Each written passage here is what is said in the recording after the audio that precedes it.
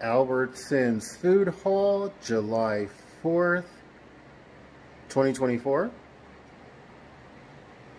But first, please help my humble channel to grow. Like, subscribe, share, comment, any combination thereof. Why? Because you're beautiful on the inside and on the outside. That's why. So the total was 1437 and for that we got one, two, three, four, five bag of Lay's. Please forgive me for the red. I know that triggers a lot of y'all. I just happen to like those. So I like the the wavy ones because these break up into little pieces quicker than the wavy ones. These are these taste a little bit better, but I like these. And an 18, oops, shoot, an 18 eggs, pack of eggs. So not bad. The eggs were, the, the, the chips was just under $10.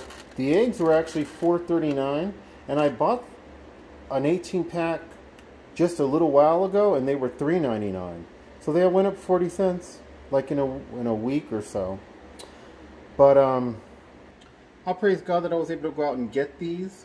There's a bunch of things that are kind of like occurred, plus the targeting. It just in general, it still makes it not fun to go outside. And so the fact that I needed to go and get these was a blessing. All praises to the Most High God of the Bible. God bless. Prep, prep. Have one to month, one to three months worth of food saved up for uh, when the SHTF happens because I'm I'm letting you know as a prophet, as someone who God has told, all commerce, all stores, all transactions are going to be stopped between one to three months. Just, I would say, depending on the crime rate in your city.